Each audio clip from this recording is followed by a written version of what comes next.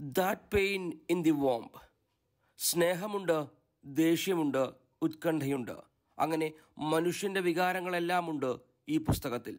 മാതാപിതാക്കളും മക്കളും തമ്മിലുള്ള പല കാലങ്ങളിലെ ബന്ധം അടുപ്പം അകലം അങ്ങനെ എല്ലാം പ്രതിപാദിക്കുന്നു that pain in the womb middle ഈസ്റ്റിലെ മുതിർന്ന മാധ്യമ പ്രവർത്തകയും എഴുത്തുകാരിയുമായ ആശ അയ്യർകുമാറാണ് പുസ്തക രചയിതാവ്. A faint smile dotted her angelic face.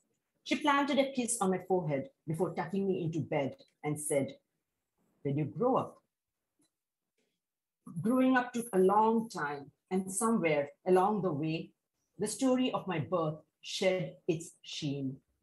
Years of listening to the same story had caused boredom to set in, and at some point, mother too stopped talking to me about it.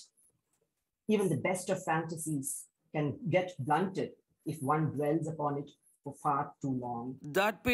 Womb പന്ത്രണ്ട് കഥകളുടെ സമാഹാരമാണ്. Film journalist ഭാവനാസമായ പുസ്തകം പ്രകാശനം ചെയ്തു. ആശായർ കുമാറിന്റെ ആറാമത്തെ പുസ്തകമാണിത്.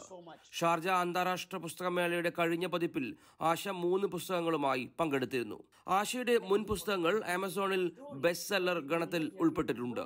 ലോകത്തെവിടെയും Amazon വഴി ഇപ്പോൾ പ്രകാശനം ചെയ്ത പുസ്തകവും ലഭ്യമാണ്.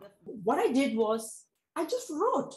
I wrote every single day, I wrote because that was my passion and I wanted to reach out and how the, this would get carried. Madhur News, Dubai.